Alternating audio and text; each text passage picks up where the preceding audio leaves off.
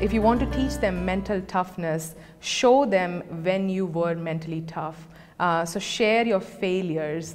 Uh, share some of the negative emotions that you experienced, so feelings of you know being fearful or being sad, um, or when you wanted to give up, or when you were extremely angry, and then tell them how you managed those emotions. Because more often than not, we go back to uh, what we saw or what somebody told us to do when you're in a tough situation. So so always remember to you know be a good model, uh, to share some of your experience.